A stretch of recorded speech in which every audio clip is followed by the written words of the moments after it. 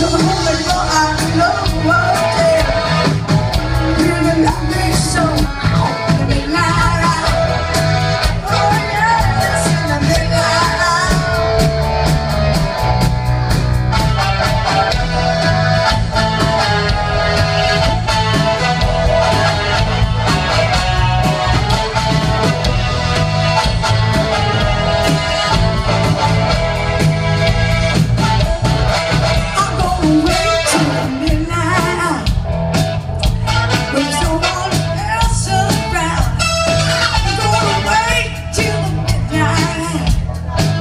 That's when the love comes.